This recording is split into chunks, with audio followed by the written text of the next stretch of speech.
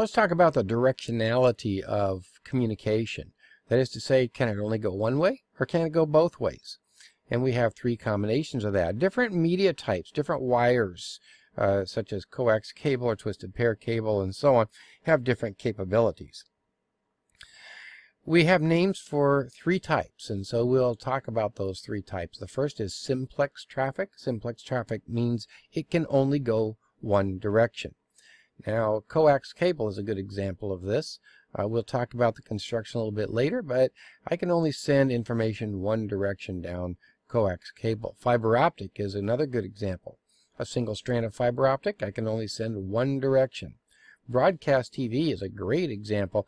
Uh, I don't know how many of you are old enough to remember broadcast TV, but you'd get a TV guide, and then you could tune in or not tune in.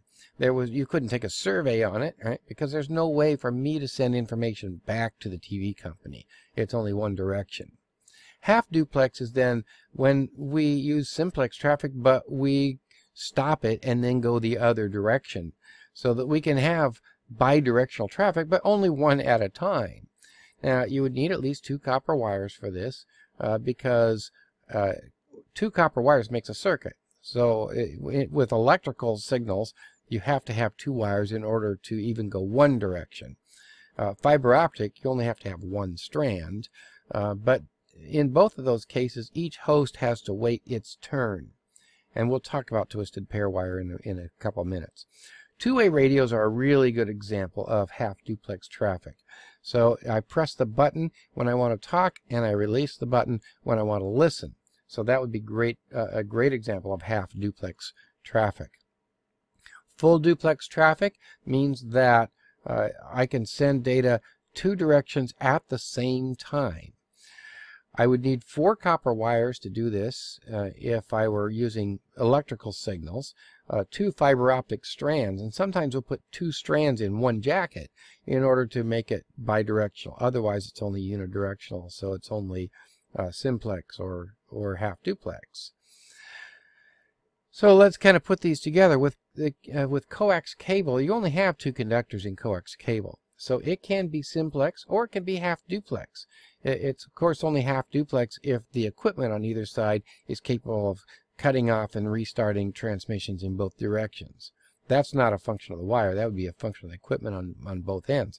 Fiber optic, the same thing. It can be simplex. It can be half duplex. Uh, I, and again, it depends on the equipment at the end to turn it off and on in order to go different directions. Kind of like keying that mic on the uh, on the two-way radio. However, what we often do is we'll put two strands of wire, because these things are only about the size, a little bit bigger than the size of a hair. So two strands of wire inside a single cable jacket, and then I could get full duplex out of it. Twisted pair, I can always get full duplex out of twisted pair cable. It has eight wires in it. So I have two wires for a circuit for one direction, two wires for a circuit from the other direction, uh, and I'm using four wires. And by the way, we, we typically only use four wires out of the eight wires in twisted pair cable. However, I will mention parenthetically that once you hit gigabit speeds, then we, we tend to send two at a time uh, in each direction in order to get faster speeds. But that has nothing whatsoever to do with the rest of this stuff. It's just a parenthetical note for completeness. So twisted pair, we can always get full du duplex out of that. Thank you very much for listening.